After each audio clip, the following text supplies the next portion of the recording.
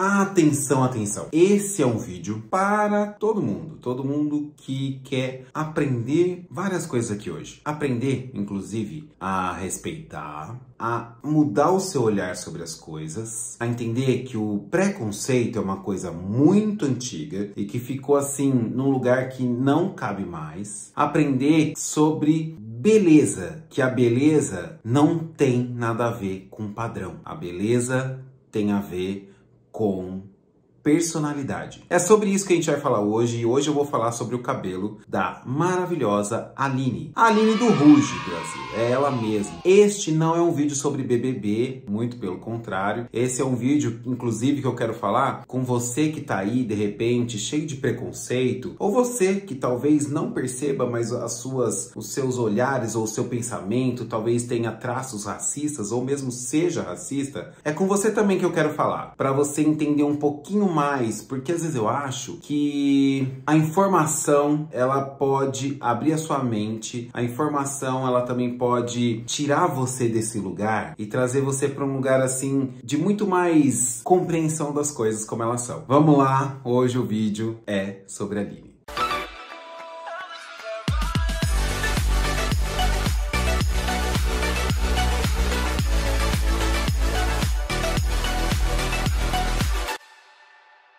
Mais do que um like, mais do que um comentário, mais do que se inscrever nesse canal, o que eu quero hoje é que você realmente absorva e abra sua mente sobre novas possibilidades. Vou falar sobre visagismo, mas com um toque um pouquinho mais profundo do que isso, porque muitas das vezes a gente não percebe que tudo que está em volta reflete mesmo não só na gente, mas nas novas gerações que estão vindo aí. Hoje, é, falar sobre um cabelo é, crespo na internet é quase que uma quebra de tabu, porque é como se a gente estivesse falando sobre um cabelo que muitos anos, por muitos e muitos anos, ele foi considerado um cabelo feio, um cabelo ruim, um cabelo que a pessoa não penteia, que a pessoa não tá bonita, assim, com vários estereótipos estereótipos ruins para esse cabelo. Eu não sou o dono da verdade, eu tô aqui com todo o meu coração. Para quem não sabe, eu tô gravando esse vídeo um dia antes dele sair. Hoje é segunda-feira, dia 23, e eu vinha pensando sobre falar sobre isso ou não. Até porque, né, Brasil, o último vídeo que saiu sobre o visagismo, ele teve um peso muito grande. E eu nem imaginava que vocês é, talvez absorvessem tanto ou quisessem tanto esse assunto. E isso me fez entender também o quanto é importante a fala sobre as coisas que não são ditas. Primeira coisa que eu quero que vocês aprendam nesse vídeo: não existe padrão de beleza quando o assunto é cabelo, quando o assunto é corpo, quando, quando o assunto é beleza. Por quê? Porque a beleza é muito subjetiva e todos nós temos a nossa, a nossa forma de entender a beleza, a nossa forma de ser bonito, a nossa forma de viver. Eu estou assim embasbacado com a presença tão potente, acho que essa é a palavra mais importante aqui, da Aline, aquela do Ruge, a Sererê. Gente, eu confesso a vocês que para mim foi impactante a imagem, foi impactante ver ela assim de cara, principalmente porque ela tava, além do cabelo natural, ela trouxe um cabelo claro, ela trouxe um cabelo é, 100%, vamos dizer, sem um corte específico, sem uma textura modificada. Ela trouxe, além de tudo isso, a sobrancelha apagada como uma coisa total. Quando ela tira toda a maquiagem, você vê que ela tem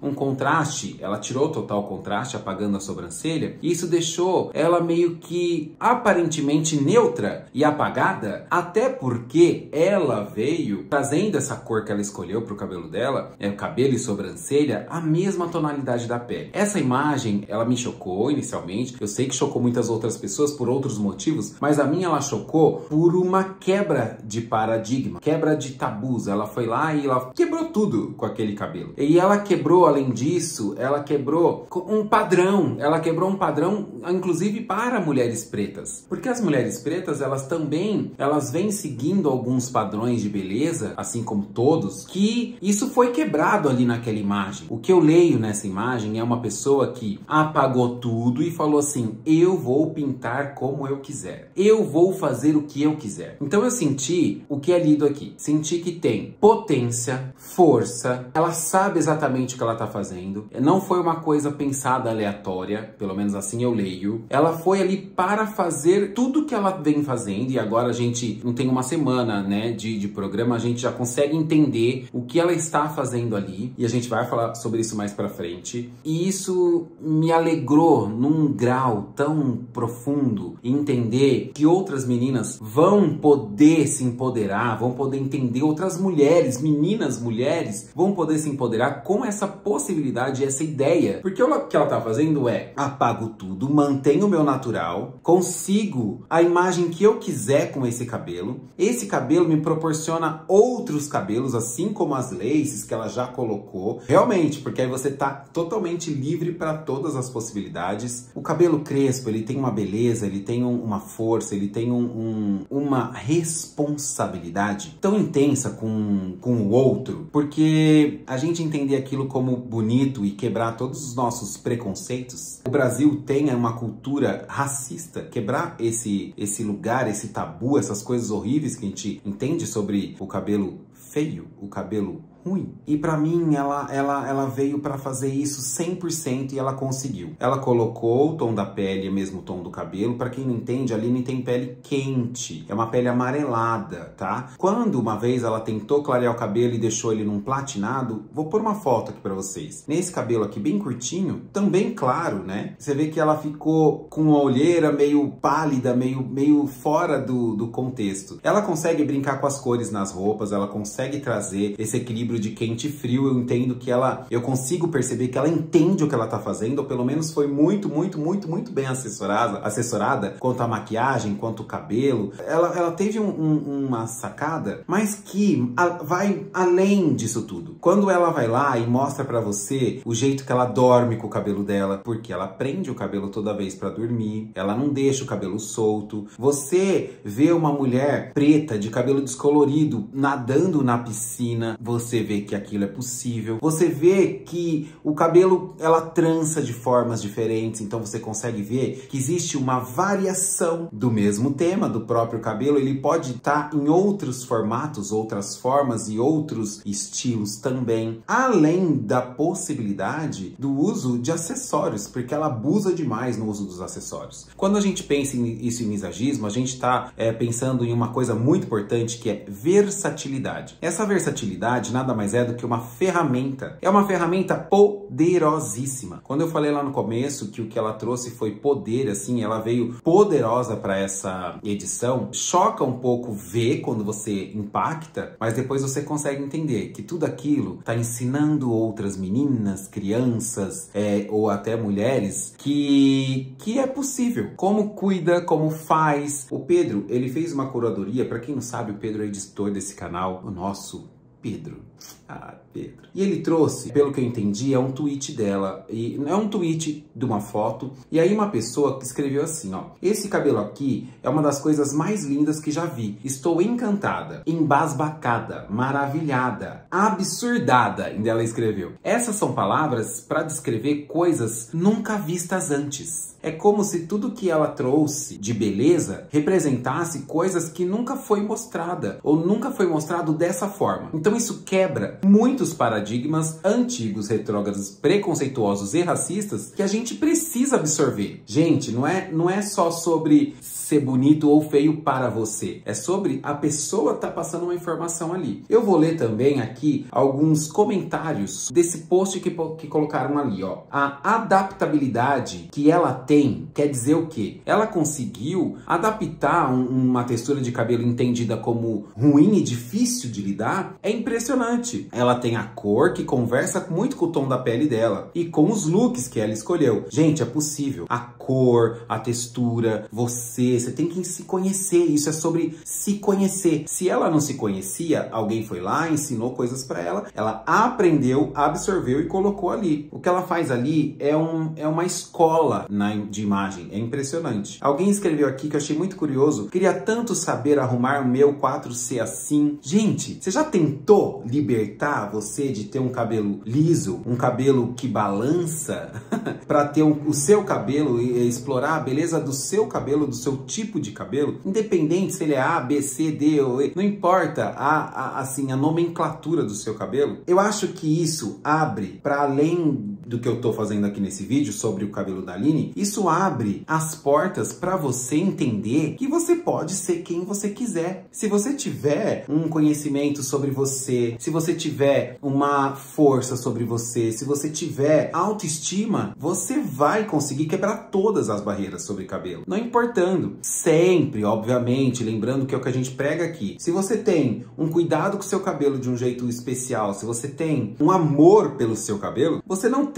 como escapar de ser uma pessoa linda em todos os aspectos. Um comentário aqui que eu achei muito, muito interessante. Além de tudo, ela é o melhor coração da casa, né? Mas, gente, ela é uma mulher madura, ela é uma mulher vivida, uma mulher que tá ali para agregar. Ela é uma agregadora, não só para quem tá ali dentro, viu? Porque agora vocês conseguem ver o quanto ela consegue equilibrar o jogo. Eu diria até que ela é um oposto da, da Carol com K, que também conseguiu encontrar o seu caminho de luz, graças a Deus. O que me alivia é saber que eu não ofendi ninguém, não gritei com ninguém, não desmoralizei ninguém. Por isso que eu tô tranquilo. Mas ela tá fazendo meio que um papel oposto ali, até nesse momento aqui do BBB. Ela é, de fato, uma verdadeira perfeição. Quando você olha também para a vida pessoal dela ali, é, você vê que ela tem um filho, né? E o quanto ela permite essa beleza do filho, que é uma beleza miscigenada, uma beleza misturada, o quanto essa, ela permite essa beleza fluir de uma forma natural e, e, e isso é bonito. Muitas vezes você pode olhar e não achar bonito de cara. Esforce-se, compreenda, veja além das suas do seu preconceito. Veja além do preconceito. Veja além do que você já ouviu. Veja além do que você já viu. Vá além. Essa essa imagem dela, ela tá pedindo para você ir além de tudo que você já viu. Além de tudo que você já viu num horário nobre da televisão, sobre uma mulher preta que tá ali quebrando todos os paradigmas como se ela nunca pudesse ser uma mulher loira e preta, porque no fato da história, ela tá ah, fazendo um contraponto com isso tudo e trazendo tipo assim, quem disse que eu não posso isso? É sobre isso. Você pode tudo. E essa imagem da Aline, ela traz essa representatividade, essa força, esse poder. Eu poderia passar horas aqui falando sobre isso, porque esse é um assunto que me envolve muito e eu amo muito, até porque eu comecei a minha carreira de cabeleireiro trabalhando com cabelo afro. Para quem não sabe, eu comecei com 14 anos e, e eu vivi uma geração onde alisar cabelo é, era tipo assim, a alegria da, da mulher preta. Eu vivi é, muito isso no meu dia a dia mesmo, convivendo com tudo isso, aprendendo. Assim, o meu, o meu maior sonho era entender como as mulheres americanas faziam cabelo, como elas tinham um cabelo liso, como que elas conseguiam cabelo liso, sendo que aqui no Brasil a gente não conseguia esse movimento, aquele balanço do cabelo liso, porque eu entendia de uma forma muito retrógrada e preconceituosa que aquilo era o bonito.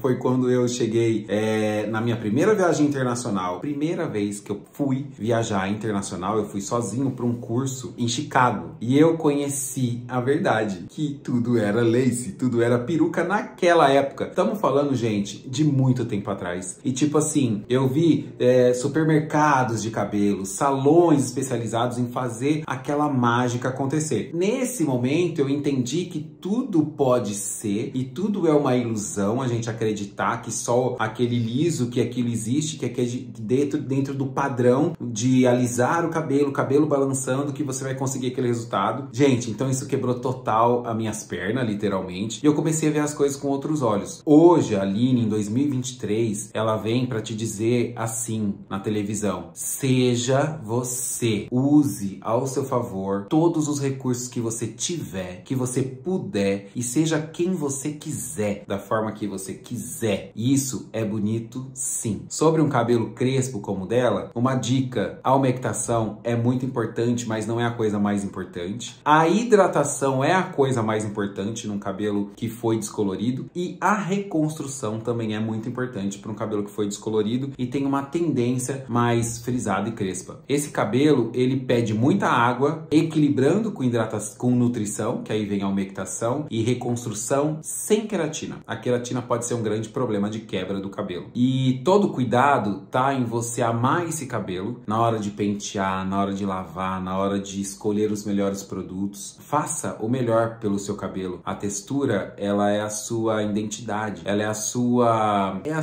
são suas digitais, é sobre isso. É, é, quem você é. Sabe quando você põe o dedo lá e reconhece a sua digital? Eu sei que esse vídeo ficou um pouquinho longo, é um vídeo diferente, é até do outro, que, e do outro e do outro, quando eu falei lá atrás da Rainha Elizabeth, é, mas é muito perceptível o quanto ela quer transformar. Não só a vida de mulheres, mas a vida de crianças que não têm uma representatividade, assim como muitas de vocês que estão aí não tiveram. Olhem para esse lugar, olhem desse jeito, abram a mente para enxergar e você vai começar a ver em você novas possibilidades de se sentir bonita, sabia? Vai lá, faz isso. Isso é um exercício para vocês. Eu nem vou pedir para você me seguir no Instagram, tampouco no TikTok, mas fique à vontade caso você queira. Um beijo grande para vocês. Fiquem bem, fiquem com Deus e a gente vai se falando, tá?